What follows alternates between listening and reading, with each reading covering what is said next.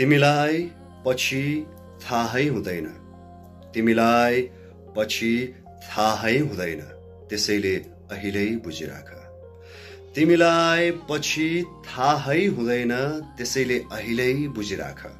तिमी भित्र भित्रै जलेको नदेख्नेहरू। एक दिन तिमी सशरीर जलेको हेर्न पक्कै आउनेछन्। बुझिरहन नमस्कार मेरो नाम रोशन केसी।